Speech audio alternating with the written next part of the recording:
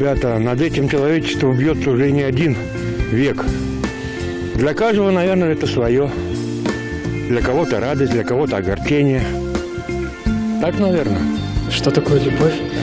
Ну, для меня это творчество, в первую очередь. Ну, то есть, если я испытываю это чувство, то у меня сразу такая вот, сразу проявляются такие творческие качества, то есть я сразу хочу творить, рисовать, то есть, ну, я как художник, как, э, то есть я собираюсь в архитектуру поступать, и у меня получается, ну, как вдохновление какое-то, я ищу в этом.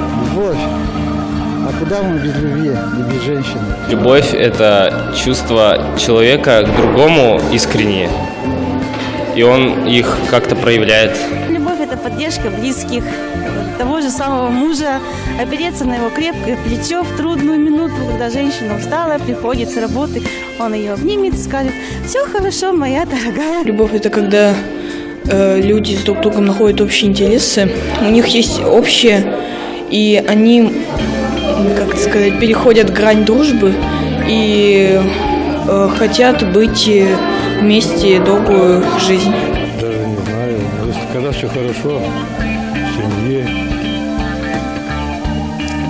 никаких проблем нет, наверное, вот любовь получается. Мне кажется, любовь это когда э, люди счастливы друг с другом.